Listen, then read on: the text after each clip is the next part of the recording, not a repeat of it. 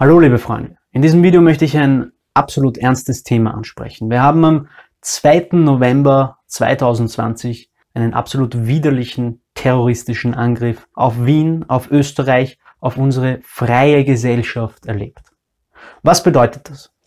Wir haben einen Terroristen, und wir wissen nicht, ob es mehrere gibt, der sein Unwesen in der Innenstadt von Wien getrieben hat. Es wurden Leute erschossen, es wurden Leute kaltblütig ermordet, es wurden Tausende, wenn nicht Zehntausende Menschen oder sogar Hunderttausende Menschen in Panik versetzt. Und wir haben etwas erlebt, das wir in unserem seligen Österreich nie gedacht hätten, dass wir das einmal erleben können. Meine Generation kennt das gar nicht. Wir kennen das aus den Medien. Wir kennen es, wenn in der letzten Woche, wir kennen das aus den Medien.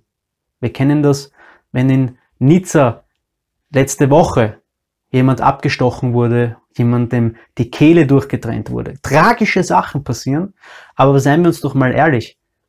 Es ist dort in der Ferne, irgendwo in Frankreich, irgendwo in den USA, irgendwo in London. Aber wir hätten uns niemals gedacht, dass das hier in unserem Wien passieren kann.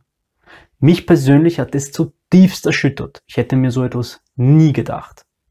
Aber ich habe mir oft gedacht, Gott sei Dank passiert uns das hier nicht und hoffentlich ist das nicht auch nur eine Frage der Zeit, bis es in Wien auch passiert. Fazit ist für mich daraus, wir dürfen trotz allem dem Terrorismus keine Bühne geben. Denn Terroristen haben keine Mittel, außer eben dieses Mittel, Terror. Und mit diesem Mittel wollen sie ihre Botschaft verkünden, ihre Nachricht verbreiten. Was ist also der Sauerstoff für das Feuer dieser Flamme? Das ist unsere Aufmerksamkeit. Der Standard hat berichtet, zu Recht, man wird den Namen des Täters in den Medien nicht nennen. Und das finde ich auch sehr, sehr richtig so, denn man soll ihn nicht glorifizieren. Und was bringt es uns auch, zu wissen, wie er heißt? Wir wissen, es war, wir wissen seinen Background, wir wissen, welche Staatsbürgerschaft er hat, aber das ist eigentlich irrelevant. Ja. Wir müssen wissen, warum er es gemacht hat. Das ist schon wichtig. Es war ein IS-Anhänger, es war ein islamistisch motivierter Angriff. Und das ist auch sehr wichtig zu wissen. Dennoch sollten wir jetzt nicht in Islamhetze verfallen, denn Moslems sind Moslems und Islamisten sind Islamisten. Das ist streng zu trennen. Ja, sie sind verbunden durch den Islam, aber es sind Geisteskranke, die den Islam komplett falsch auslegen. Ich persönlich bin der Meinung, und ich bin kein Moslem, dass man hier wirklich die Trennung scharf ziehen muss. Denn was bringt es uns denn, wenn wir das so auslegen? Wir wollen doch keine Spaltung der Gesellschaft. Wir sind alle in einem multikulturellen Wien aufgewachsen.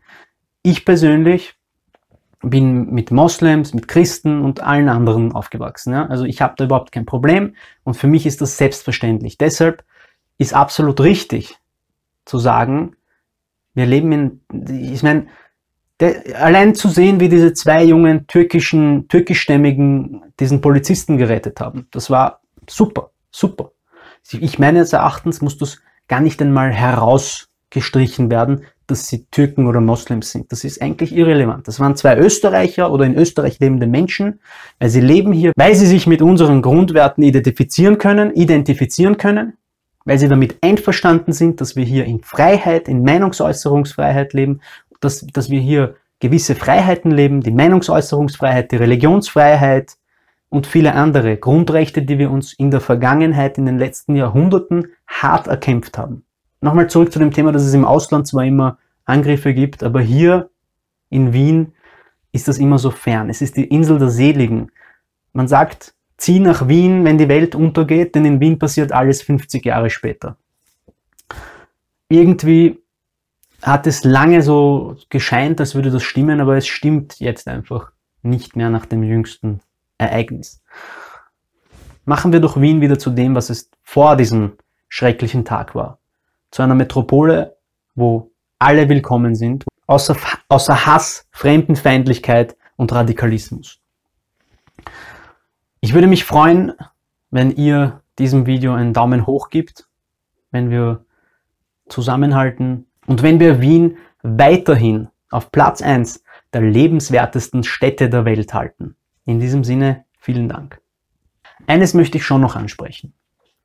Es wurden sehr viele Videos geteilt. Videos, auf denen man sieht, wie der Attentäter oder einer der Attentäter einen anderen Menschen kaltblütig ermordet hat. Er hat ihn zuerst angeschossen und dann hat er, ist er nochmal zurückgekommen und hat ihn blutrünstig noch einmal mit ein paar Schüssen ermordet. Das ist in einer Gasse passiert, an der, in der ich zufälligerweise am selben Tag unterwegs war. Ich war in der Synagoge, ich war auf einer Bar Mitzwa, in derselben Synagoge, die Gott sei Dank am Abend geschlossen war und wo auch keine Leute zum Beten hingegangen sind. Fakt ist aber, es macht mich so zutiefst betroffen und deshalb unterscheidet sich das für mich vom Gefühl her auch von Attentaten in anderen Orten dieser Welt. Erst jetzt wird einem vor Augen geführt, dass es auch mich oder dich hätte treffen können. Ja, es hätte uns alle treffen können. Der arme Mann, Gott hab ihn selig, der arme Mann, der da gestorben ist, der hat doch nicht gewusst, dass er an dem Tag zum letzten Mal aufwacht. Es ist schrecklich, schrecklich. Aber ich möchte nicht deswegen in einer Gesellschaft leben, wo ich jeden Tag Angst haben muss, ob ich ins Café im ersten Bezirk gehe, ob ich mich in ein Café neben einer Synagoge setze. Das möchte ich nicht. Und das soll auch nicht so sein. Denn dann haben die Terroristen gewonnen. Und das müssen wir tunlichst vermeiden. Tunlichst. In diesem Sinne, bleibt offen, bleibt euren Freiheiten verbunden und passt auf euch auf. Alles Gute.